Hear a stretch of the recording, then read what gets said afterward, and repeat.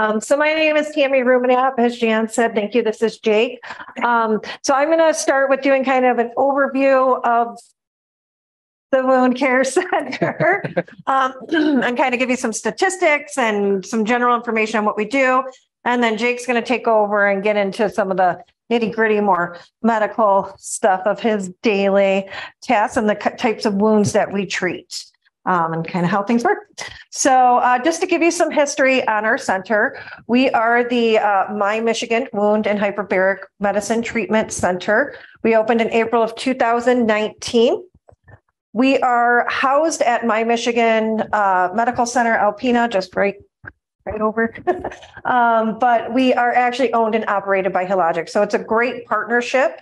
Um, kind of handles, um, you'll see in the next slide, some a certain portion, whereas my Michigan gives us the collaboration, the medical care, um, and things like that. Since we've opened, we are very fortunate that um, we have been able to help a lot of people. So we've helped 1,462 new patients.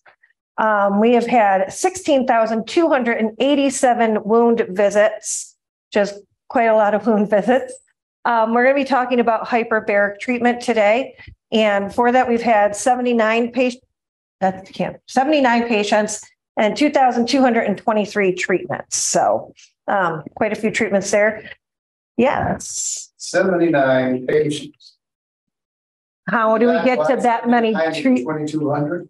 I'm sorry. Yeah. So Divide 79 into 2,200 to get the number of. treatments per person. 79 people got it. hmm yeah. So a typical treatment is anywhere from 20 to 40, and it's typically 40 treatments. Um, so you could see how you would get that large of a number. And sometimes we go up to 60 depending on the patient. Um, so our patient satisfaction, one of the things I like to talk about this, if I like to brag on my team a little bit here, this is all Jake and our nurses and our medical assistants, our HBO techs. Um, they just do an awesome job in the rooms. They make sure that our patients are being listened to, they're being heard. And you can see that in our patient satisfaction scores. It's 96.6%. Um, our median days to heal. So from the time that a patient walks in the door as a new patient till the time that Jake is saying, all right, you're healed, have a great life. On average, that's about 23 days. So that's pretty great. We're talking about sometimes we see wounds that have been there for months, years. Obviously, longer the, the longer amount of time that that wound has been present, the longer it's going to take to heal.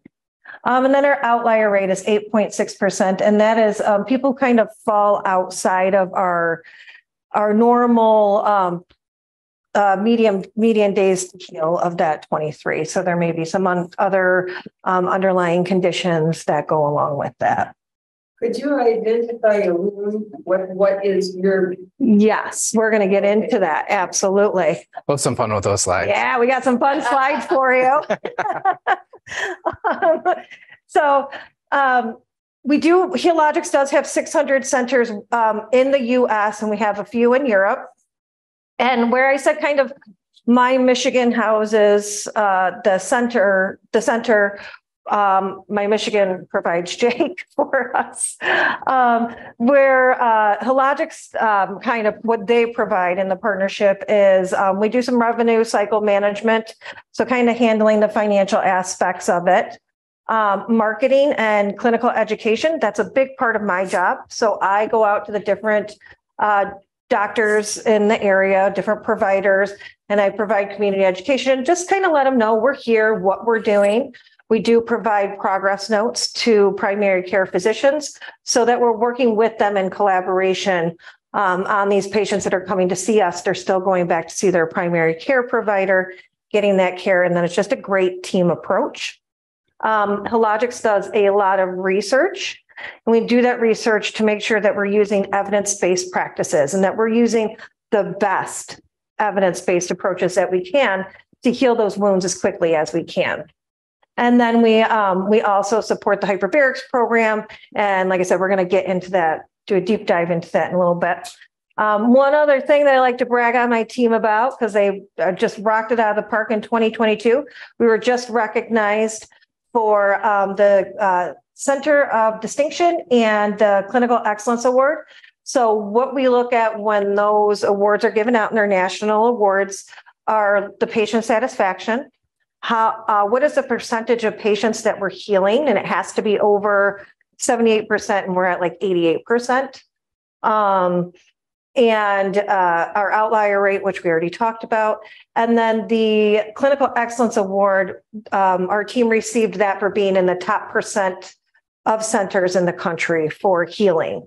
So it's not like a money driven, it's about healing and those patient outcomes. So I like to because my team kind of rocks. They're doing lots of great healing. So to start, what is what is a chronic wound? So what uh, what is kind of that definition? Um, it's an insult or injury that has failed to progress through a normal, orderly, and timely repair process to produce anatomic and functional integrity. That's a lot of words. So we'll just get into some cool pictures in a minute. But essentially, it's saying that we have an injury, we have um, a wound of some sort, an ulcer, um, a pressure sore that's not healing for some reason.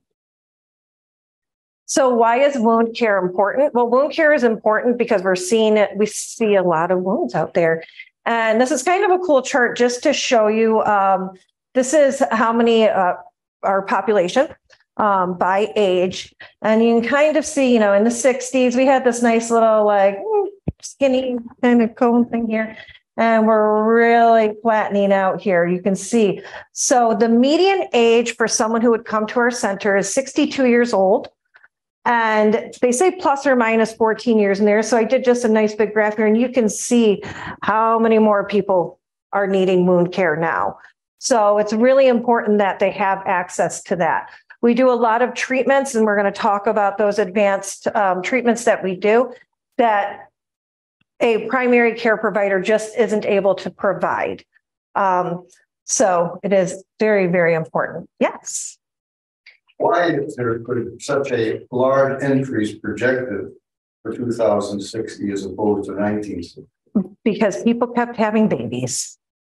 It's just, that's just the population. population. That's just a general population. That's not for wound care. Because of the numbers of people, not necessarily an increase in the kind of, uh, Correct. Yeah. Great question. So- Thanks for clarifying that. Yeah, so it fits our aging population that we know we have a much lower quantity of younger people comparably to aging population. I mean, pretty. you did have to mention that aging, but I said it, I, but I thought I said it gracefully, didn't I? That's, that was not smooth. All right, I'll work on that. I'll work on the delivery. Yeah, yes, give us twenty years. That's not the goal. We're, our goal is to, do- our goal is to do everything we can to prolong that. Jeez. Wow. So we love it. Did you have a question? Okay. Good. Okay. Wonderful.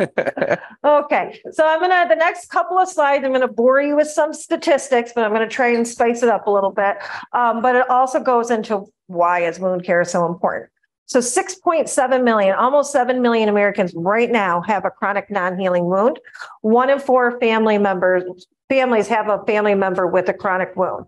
I put that st- statistic in there because Jake and I were doing a talk back in September, I think. And um, one of the women had called me afterwards and said, Hey, I have to tell you, we went to your talk, my sister and I. And when we left, she said, Hey, Betty, I don't think that was her name, but we'll say, Hey, Betty, that wound on that slide, that's exactly what you have on your foot. Maybe you should go see the wound care team. So the family members can really help kind of check on your loved ones, um, check on your advanced age. Is that I don't, uh, members? it apparently wasn't graceful enough, so take another shot at it. you know, check and we say April is foot health month. So make sure you're checking your feet and checking people that you care for. Just take a quick look um, and see if there's if you see any wounds there. That woman did in fact have a chronic wound. We were able to heal it within that median time frame, so it was a great outcome. Um, a really big kind of something for you to think about is if we're not treating those chronic wounds, 30% of them end up resulting in an amputation. And once you have an amputation, we really see that quality of life decreases. So we want to get in there and heal those wounds, try to avoid anything like that. Um, and then talking about it from a money side, chronic wounds have a $50 billion impact on the healthcare system every year. So that's a pretty big impact. Um, the most common diseases that we're seeing, that we see in the wound care center associated with wound care is diabetes and uh, heart disease and vascular disorders. So we definitely want to be watching for that. Over 34 million people in the US right now currently have, are living with diabetes. Um, and you get those diabetic ulcers, and Jake's going to talk about it, but they can start as a pinhole and just blow up fast. Um, of the uh, percentage of people with diabetes who end up with amputation, 85% of those started with just a small foot ulcer. So we need to watch for that. All right, this is my last numbers. Don't worry, guys. 121.5 million Americans have some form of cardiovascular disease. I mean, we're just really not a super healthy country. Um, and with that kind of statistic, we see 82% of lower leg amputations are due to poor circulation. So, um, Jake again and the team work with that, and they work with uh, other providers, vascular surgeons, um, to make sure that they're providing the best care. So, we're not seeing that. All right. I know I said no more numbers, but this is a really kind of scary slide and it really hits home. So, for diabetic related wounds and amputations, so once somebody with diabetes has an amputation, they have a, uh, after five years, there's a 50% mortality rate. So, that's huge. That's a big number um, that we're talking about after five years. I mean, that's more than breast cancer and prostate cancer put together. Um, so it is really important that we're treating these wounds. All right, so types of wounds that we treat. I'm not going to read through them, but you can kind of read through them.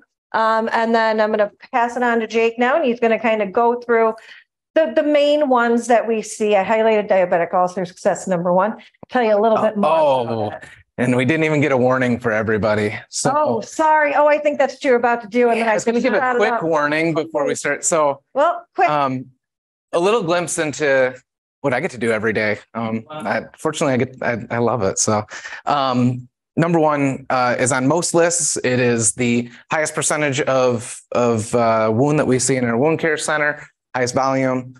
Some of the worst outcomes are diabetic foot ulcers. Um, so these are some pictures to get an idea. Um, and so I just wanted to highlight on this. You know, these we of course try and have impact with these, and it's not um, it's not just to make sure you can't sleep at night and you have nightmares, but so you can associate these things with real life because they do exist. Other and, and this patient is usually walking around. They have socks and shoes on. They you don't know that there's a wound on their foot, so this is something really to be aware of. But it can certainly got a wound like that uh, oftentimes they don't check it. Um, there isn't, they don't have pain and sensation like you would expect. Um, they might know when it gets to some of these large areas, but as Tammy mentioned, um, they can start as pinholes and that can get to this point pretty quickly. But I just wanted to point out the, the you know, and this was the pinhole portion that I was going to uh, kind of exemplify. So it can start out as something as small as that, and within days to weeks, we can have a completely different picture.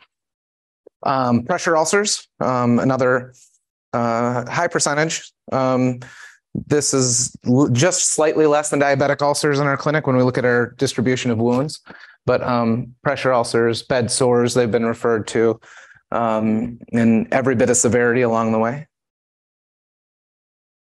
Arterial ulcers. So Tammy had mentioned peripheral vascular disease, problems with, with blood flow. Um, this is an example of wounds that come from problems with blood flow down your leg. So delivery of blood to your extremity. They have that punched out appearance. Venous leg ulcer. This is my favorite slide. This is the wound um, that I'm usually the happiest that we get to see. And unfortunately, by the time we get to see these, um, people have been dealing with this for a long time. They've probably taken 15 scripts of antibiotics. Um, everyone's looked at it and put a different type of band-aid or, or salve or something on the wound. But the reason that these exist is because the veins are incompetent. So you have valves in your veins. They help bring blood back up to your heart, return the blood from your feet. And uh, they these valves over a period of time and from different disorders, they start to leak. And as they leak, that blood pools out. You can see the discoloration in the leg. That's very typical. Sometimes it starts with swelling, cramping, varicose veins. Um, those are the early stages, and then ultimately non-healing ulcers. Um, with proper care, we can get these to turn around really quickly.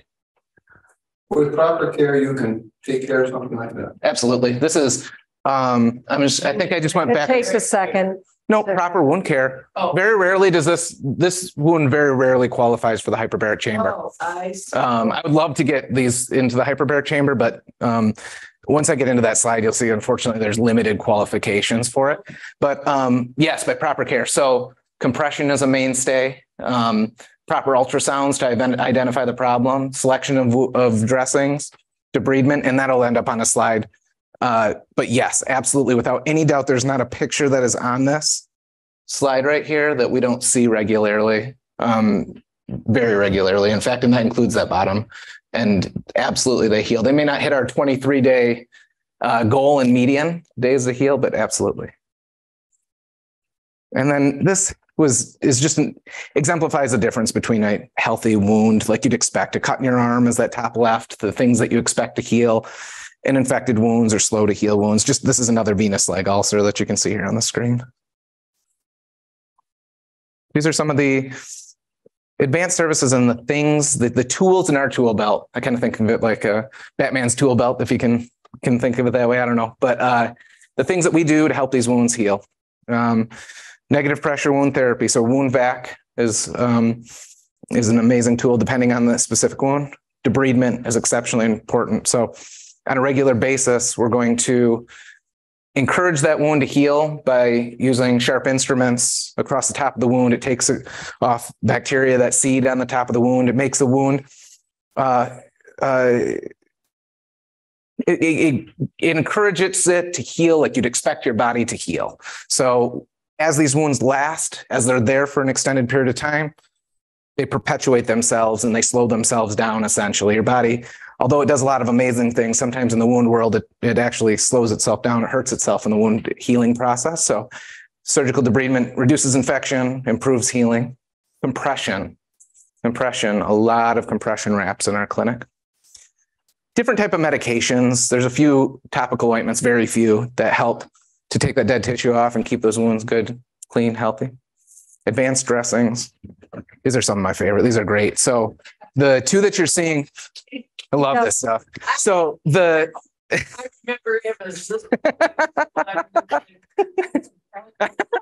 so these um these are really neat. So the two that you can see here, um, I use as frequently as possible, but there's small qualifications for these. So the one that I have the mouse on right now is living placenta. They have the ability to um, sterilize this, but this is taken off of placenta. It is stripped of the membranes that are not appropriate to be placed back on the human body. And um, this is the only dressing right here. It's called Affinity that has living placenta that we can um, use for wound care. And then this is called Apligraf. This one is um, grown out from the foreskin of babies. The source was back in the 80s, so it's replicated cells, but that was the origin of the cells. So they keep all the growth factor stem cells. We can't call them stem cells once they're out of the body, but um, uh, and all of the necessity to help your body heal. They don't become skin, but they help encourage these wounds to close. So it goes applied and then removed? Yep. So traditionally, we apply on a weekly basis. We traditionally apply them on a weekly basis. There won't be much left of those dressings after a week. Your body will utilize all the growth factor stem cells and that the placenta is tissue. It'll get broken down by the body. This is actually a collagen uh, dressing that the all the um, stem cells and growth factor are grown out across. And so that your body will utilize that just like it uses collagen to um, regrow skin and but it won't become new skin itself. It just encourages it. So it's not like a skin graft per se. Wow. Now, like when I have my babies, Could I have donated it, my, the placenta, or they have to ask you that, or do they just use it now if it's thrown, being thrown? That's a really good question. I do know there's a process. I feel like there was a form I filled out. It's been a few years since I had a baby, but there was a check or something that I had to mark on it, kind of like donating your There's body. It had to have changed recently because I don't ever remember that, but I do remember reading Mhm. about the uses of placenta. And then you don't have to worry about what blood type, not on these. okay, No, not by the time it gets to this point. right, So um, I they're, mean. they're very universal in that sense. would be able to utilize, even just one would be able to utilize a lot of product. It takes some time, but they absolutely, without any doubt, speed the process. And maggot therapy, I don't use it often. Um, when I went to West Branch, their providers, uh, she's been in wound care a long time. She still has used it on occasion in particular areas, but I cannot say in the three plus years that I've been here that we've used it, but it is always out there. It's an option. They're sourced, they're sterile. There's one source in the entire country for them. Hyperbaric oxygen therapy. All right. Grab these. or- Sure, All I'll right. start this one out. Um, so this is, um, we'll pop back, there we go. Okay, so this is an actual picture of our hyperbaric, one of our hyperbaric machines. It is a re- medically recognized treatment option. And this is a, um, a clear acrylic container. And the patient will actually go in there. We have a hospital bed. The hospital bed's not in there, so you can't envision it. Um, but the patient will lay on a hospital bed and they essentially just roll, open the big door, roll right in, shut the door. And then while they're in there, they're going to be uh, receiving pure oxygen in a pressurized environment. Um, and Jake is going to get into the nitty gritty of how exactly that works. But the next slide is kind of cool, just another fun story for you. Um, and just to kind of give you an idea of how amazing hyperbarics really is, the things that they can do. So in 1959, just before 1960, there was a doctor, Dr. Ite Boerema. Um, and he kind of wanted to see test limits essentially. And so um, him and his team took this uh, team of pigs and they had replaced all of the blood essentially um, in the pigs with Ringer's lactated solution. So RLORS and plasma. So essentially what they had done is removed all of the hemoglobin or at, at least enough of the hemoglobin that that pig would not have been able to survive on its own. Um, hemoglobin is kind of what helps tra- oxygen travel throughout the body. So once they did this, they had, or before they did, they already had the, the pigs in the hyperbaric chamber. They were under three atmospheres of pressure while they were in that chamber. And those piglets were able to survive for 45 minutes. Um, while they were in there, they were taken, they were then reinfused with their own blood, taken out of the chamber, and they survived. So this has been replicated many times and um, probably not something that you would see nowadays because research has changed a little bit, but just an interesting kind of background tidbit.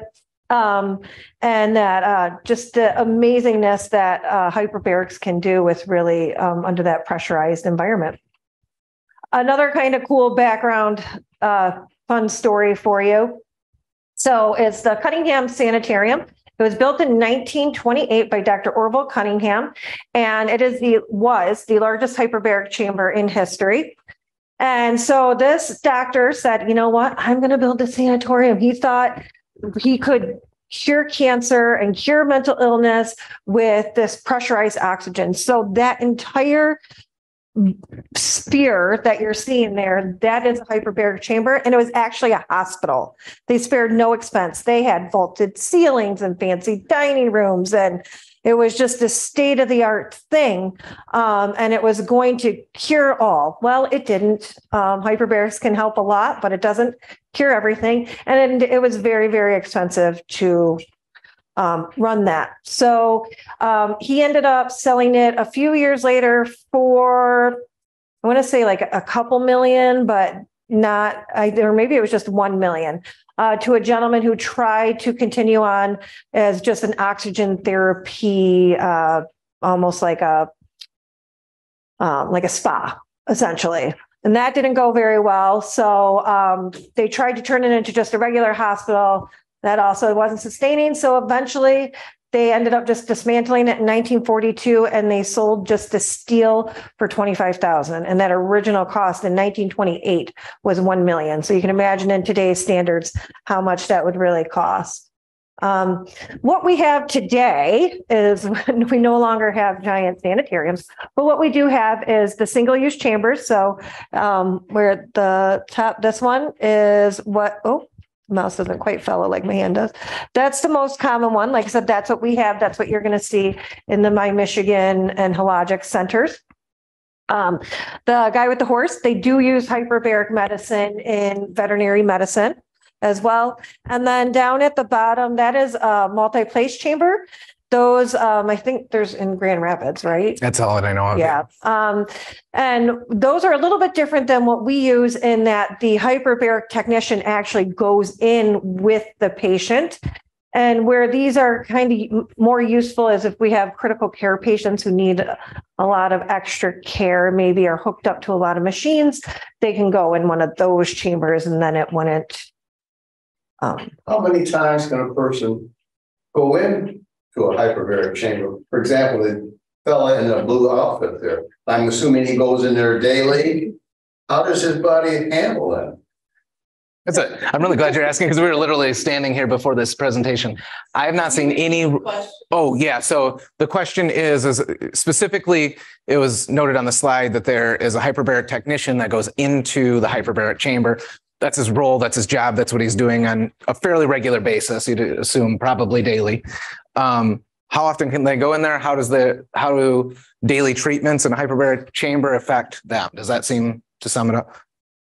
And I can't answer your question, but I can t- guarantee you after today, I'm going to dig into it. Tammy and I were just discussing it. I've not heard of any long-term, short-term, any incidents specifically related to daily treatments with hyperbaric oxygen therapy. But just like anything, hyperbaric oxygen therapy has risks and every one of my patients before they go into the chamber know that as well. So when you start to think about it, that they are absolutely more, you would think, at least in theory, that they're more prone to some of the problems that can occur with it. Although it's safe, it, it has potential, but I can't give you, a, I can't give you that information. It, it'll be on my, it'll be on the plate for, for uh, this afternoon though, for sure. come back next year for a talk. Hopefully we'll have that. When Alpena first got hyperbaric, it was that type of. The multi-place, yeah. And met several of us, this was, I think, in the eighties. Is that right? It sounds appro- approximately right. Yep. Eighties. And several of us trained to be um, as nurses to go into the chamber because we were using it for critical care patients then. Yeah. And we were, and somebody had to be in there. You can't just leave a critical care patient for four hours by themselves because they need some care. Um, a lot of people had ear, middle ear problems, but I don't remember anybody having other issues. That is the num, the most common thing that you see. People will say their ears start to kind of feel plugged, kind of like if you're in an airplane and that's from that pressure. So you can loosen your jaw. Um, our hyperbaric technician is very good at watching for those signs as well. So she'll even, um, she can give the patient an air break where they're just breathing regular air and that'll help, help decrease that as well. All right, so we're going to get into what are the indications and I'm going to pass it back on over to Jim. And then So approved indications. Hmm. Um, these are non-emergent. These would be what we would have patients in regularly throughout the week. Um, also, not only the frequency, but where we really get to see it shine in wound care related specific problems. Um, acute peripheral arterial insufficiency. So I'm going to skip the circled ones because those are by far, bar none, the most frequent reasons that somebody goes into the chamber. So I'll circle back around to the, the circled ones at the end. So severe peripheral vascular disease with risk of limb, but it has to be in combination with surgery. So it makes it pretty tough locally. Uh, traumatic peripheral ischemia. So crush injuries, that'll actually be duplicated over here on crush injuries. Um, severed limbs, so repaired severed limbs. Again, not something we're going to see here very frequently. Not very many surgeons here are going to um, reattach limbs, but um, potential for indications. Two indications we use quite frequently here locally, though, is soft tissue radionecrosis. So I'm going to skip around a little bit. Um, can you guys see that up on this? Yeah. Yeah. So, yep. And then osteoradionecrosis. So, um, radiation injury. So delayed radiation injury after, um, cancer treatment. So radiation cancer treatment, both of those. And we have absolutely without a doubt had multiple, uh, multiple patients in for both of those and try to regularly if we can. Prep and preservation for skin grafts and flaps. So if you had a skin moved from one part of your body to the other to cover up an, a wound or, or a surgical site of any kind, and that fails, that's an indication. Necrotizing infection, so flesh eating bacterial infections, again, in combination with surgery, there's pretty specific um, parameters. Oh. Um, the two that are circled, though, are our most frequent uses for hyperbaric oxygen therapy for wound care specifically, and that's diabetic lo- um, wounds of the lower extremity. It requires a severity, a length of time, standard of care, but there's a qualifying uh, component to that. And then chronic refractory osteomyelitis. So that is a bone infection that's gone through what we consider standard of care. So six weeks of IV antibiotics traditionally, along with surgical intervention and appropriate dressings that hasn't healed and is still present. So along with treatment, retreating that, that bone infection, we can also use hyperbaric oxygen therapy. And then the two emergent indications that we see are carbon monoxide poisoning, and that's our most common use for the hyperbaric chambers for an emergent indication. And then decompression sickness or the bends. Uh, really, the origin of hyperbarics all stems from divers getting the bends. So um, that is uh, that is another one of our our reasons for using it. It works. It- this is going to be a brief overview of how it works, and then go into a little more detail on the next slide. But um, it's direct pressure reduces bubble size, so it is pressure and oxygen together. When you apply pressure to the oxygen molecule, it's going to compress it, and it's smaller. Um, delivers oxygen because we're able to hyperoxygenate the body with a combination of high percentage of oxygen and pressure. We can actually get the um, the plasma or the liquid portion of the blood. So there's the red portion are those red blood cells that carry oxygen, but the liquid portion of the blood, we can actually saturate the liquid portion and deliver oxygen that way. So then that promotes angiogenesis and neovascularization. And there's there's absolutely a slide that's going to make that make sense. So um, it helps aid in killing bacteria, helps with the effectiveness of our antibiotics, limits white blood cell adhesion. Um, so in after severe peripheral vascular disease, once areas are opened up, you can end up with um, a secondary injury to the site, and it can help reduce that. Not the main indication. Really, one through three is why we're usually using hyperbaric oxygen therapy. So this was uh, Boyle's law. Oh boy, it's been been a few years for some of us, and before I got back into hyperbarics, a few years for me before I started getting back into physics. But um, so the pressure, the given quantity of gas varies inversely to the volume increase pressure, decrease volume. The more that you can deliver, your lung has uh, an total area that it can absorb in the capillaries, in the small in the small areas of the lung where it can absorb oxygen, and um, we decrease the volume, and we're able to get more into the body. So, angiogenesis, uh, neoangio. I think there's a slide. Okay, it's going to go over it right here. Yeah, that was coming up. Sorry. Um, there's a lot of words on here, but this is this is basically what this is. And I try to I have this conversation really frequently with my patients. So this is the encouragement and development of new blood vessels, new capillaries, and the growth of tissue. It all starts with new blood vessels, new va- neovascularization, angiogenesis, new development of those vessels. So it starts out with the very first portion of t- tissue growth being that in- improvement and increasing and that is what is perpetuated with hyperbaric oxygen therapy, and what that's what moves it along. Helps to aid in the um, antimicrobial activity. So this is those infections, that uh, bone infection, that necrotizing infection. oxygen free radicals, bacterial replication is inhibited. There are particular bacteria, especially anaerobic or oxygen uh, bacteria that replicate in an oxygen free environment that um, produce toxins. And a lot of times that is the response you see in these patients. Um, and uh, it's not the bacteria itself, it's the toxins that are that are produced and that's inhibited. Helps improve the effectiveness of our antibiotics, our antimicrobials.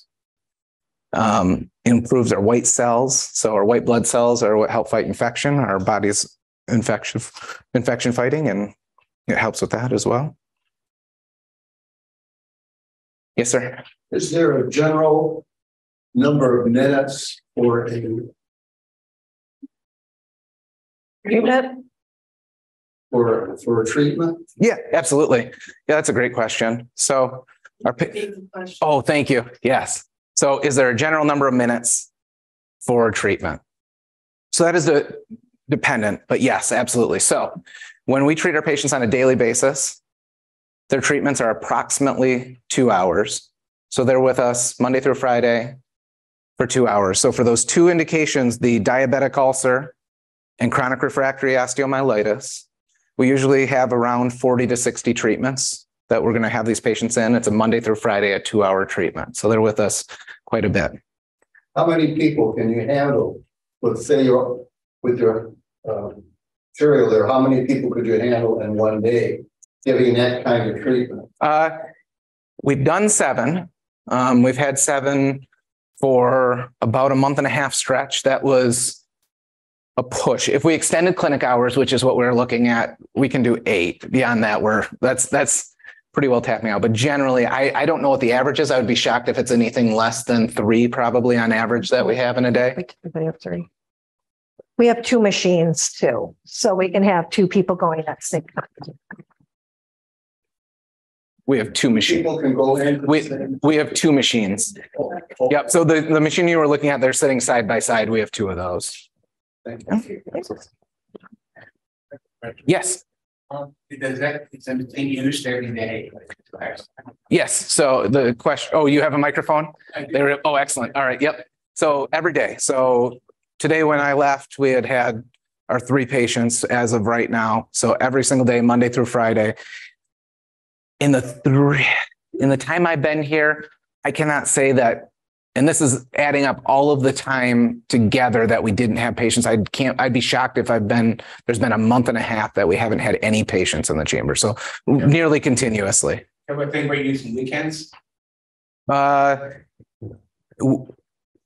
there, one, the data is pretty rock solid with Monday through Friday uh, treatments.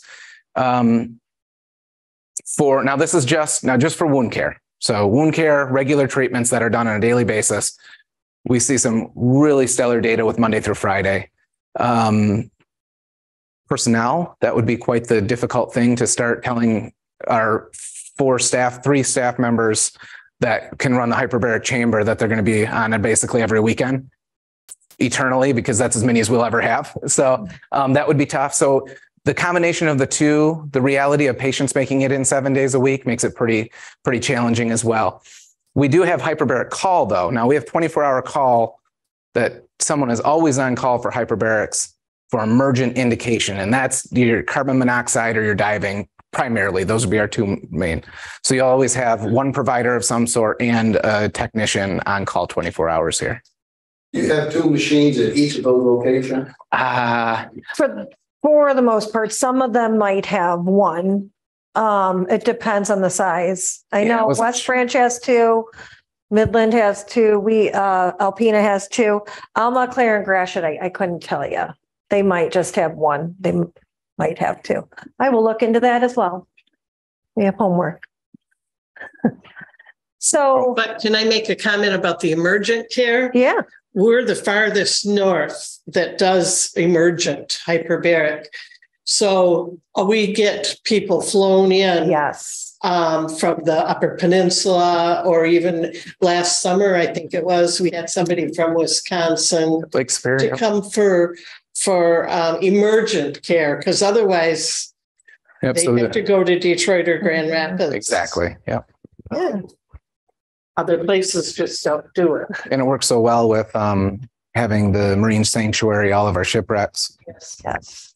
We actually had a um diver within the last couple of weeks, so Yeah. everything went well, very smooth. Um, yeah, I would say so. To be done. Dry- Dry suits, but yeah. Yep, she did very well. So I didn't know. Um, so as you you saw? Oh, sorry, yeah. No referral needed. Could I pick up my phone and make an appointment? Absolutely. So these are all of our branches that we have and we all work together and we make sure that you get to the closest center to you because we work together. So um, if we can't see you, we'll even try and get you into another center. Right now, our days to admit are about three days. So from the time that you call us, it takes approximately three days to get you in to see Jake and our awesome team. The ways to get to us, there's essentially two main ways. The first, and which is probably the, the best, most recommended, would be to go through your primary care provider. They can lay eyes on it. And like I said, we do work with them very closely. We're sending progress notes, um, letting them know what we're doing. So that's probably the best. But some people don't have a primary care provider or they can't get in. Uh, we talked about if you have a diabetic ulcer, foot ulcer, you can go from a pinhole to a large ulcer in a matter of days. And if your primary care provider says it's going to be weeks um, before you can get in there, you can always just call us. So our address is on there, our phone number is on there. No referral is needed. We check all insurances, um, you know, to make sure we take your insurance and whatnot. So you can always just call. And then even if you did just call and get in, we would, st- we can still work with your primary care provider. Is that a central scheduling number? That is not, that is our direct number. So that will go right to the wound care center. But a family member who's primary referred him to wound care, gave him the central scheduling number, he called twice and never got a call back. Oh, That's no, horrible. that is not good to hear. Yeah. Okay, so I'll have to work when I go out and educate the providers to make sure they're giving this direct number. Because I think you can sometimes get lost in the shuffle if you call central scheduling. We do um have a a a system epic where providers can put a referral in there and it still comes to us, but sounds like maybe that person got lost in the shuffle. So that's good to hear. I We will. Went to the podiatrist who treated the wound. Okay. Apparently it's here. I didn't know. And sometimes that's appropriate. We, uh, Jake works very closely with the local podiatrists here. Um, so, yeah, absolutely. Uh, well, I have several things. First of all, I have a friend who, um. Ended up. Um, she was.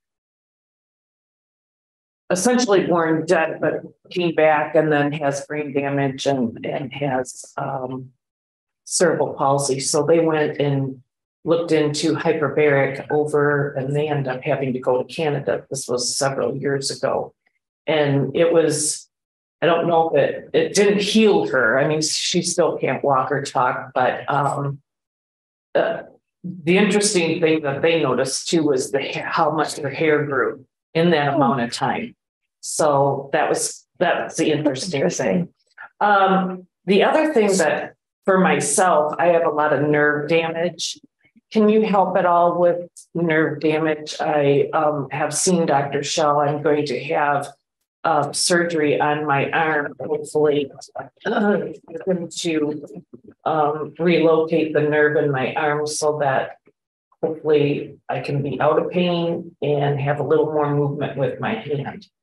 Um, can we have any research on nerve damage? So I can't quote any studies specifically on, uh, I'll make sure I'm careful with that. Yeah. uh, Because is it, okay, so, Because I have neuropathy. so we see, we see improvement with things like that in the hyperbaric chambers in circumstances where people qualify for hyperbaric oxygen therapy. We, you, what you began to mention with hair growth, we've actually seen some amazing um, skin autoimmune psoriasis, some this essentially skin clearing, some really incredible outcomes. The problem is qualification and insurance coverage. So Right. there is no high quality data studies that could tell me that one, you would have improvement with it. Two, that the risks outweigh the benefits. And without any doubt, no questions asked, there's not an insurance company that would cover it. So where that leaves us, it, it- puts us in a really bad place in the sense that there are conditions out there that are being studied. And I absolutely, without any doubt, believe in the next five to 10 years, we're going to see a tremendous in- increase in approved indications for hyperbarics if we can get insurance on our side, if we can provide enough data. But until then, it's very challenging, especially in a small center. We don't do clinical trials. We can't do clinical trials. Um, to to be able to treat in an off-label. That's what that would be considered an off-label indication. We have pushed two off-label indications since I've been here, but they were very well studied, very well documented, just not approved by insurance. And they um, they came from a referral. So it was a GI problem, and it came from a gastroenterologist at U of M who is well known in the pediatric world. So it was such a small, narrow scope that we were able to talk with MyMichigan, knowing that there's the potential for non-payment. We were able to go move through with that.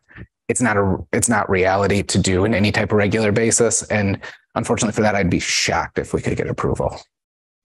Not that I could tell you couldn't potentially. Right, so did they, were you able to follow through with that patient? Short-term improvement, long-term, none, unfortunately. Okay. It was really, yeah, but short-term would looked great. Yeah. So you get, But again, it wasn't nerve regeneration or anything like that. It was very, very different circumstance. right, I was just hoping maybe after the surgery that I could. Uh, you know, say, hey, I'll be a clinical. I would, lo- I would love for that. I'd love for that. Okay, and then, um. Well, we kind of already talked about dollars, so airport oxygen, you know, that's so. Everybody's, mean, when you go to the airport, they have those oxygen places where you go and sit and have oxygen. You know, what, uh, Your opinion? I mean, that ha- it has really nothing to do with hyperbaric, but is that really, I, I guess it's a moneymaker? I, I don't, I don't know any. Without using, I, I mean, oxygen is great, but until you get to the levels that, there's no good clinical data that oxygen that you breathe without the combination of pressure gets you to a level that is going to be beneficial. So Yes, so the, it's the pressure of like I can. Exactly. That is the requirement. So you, Yeah. you it, that is why we also have to have you enclosed. Um, there are some products out on the market um, where you shower some oxygen over your wound. I've seen a few of those out there. Oh, A plastic bag, you can kind of pressurize it over. The data's not there. It just, I have not seen a single one that didn't have a study funded by the company that produced it that has shown positive outcomes with it. So the, the way we deliver oxygen has nothing to do. You could have a plastic bag wrapped around it. it has nothing to do with that. It's the, what you inhale and what's delivered to the bot, from the body through the vessels to the to the wound. Question that, that led to. Maybe I'll think of it. You can call us. Um, and then I was gonna say, we handed out these cards for, you had said your, um, I'm sorry, I can't see your name. Mary? Joe, Joe, Um, Joe, um, the, our information's on the back of these cards too. So you can, there's a whole stack. You can hand them out to your, I'm really sorry about that unfortunate. That's very unfortunate. Yeah, um, but Well, there's such, I think, so much scheduling goes in there. I haven't. Yeah. I haven't been called back. I'm just gonna, not even. Oh, maybe try and call the Or department. this, and maybe there's just too much being done in a central scheduling system. We have to wrap up, but we can do one more question. I thought of it, I had it written down, but anyway. Um, uh, somebody was, I was saying that I was coming to this and they said, oh, well, you have to go in those things and for so long and you have to be nude. And I'm thinking. No. No, why Not would you nude. have to be nude? And if you had an assistant in there and you're both in there. That'd be real awkward. That's, It would be hard to So- hire. you know, Whether it's just has to be cotton. It's w- you have to wear our uh, gowns. So our gowns, specifically the composition of them, are it's safe to go in the chamber. Scrubs and And pants and everything. If we can help it in any way, for, for all of our sakes, we try not to have people go in nude. She said that, I'm like, oh my. Uh, Well, thank you very much.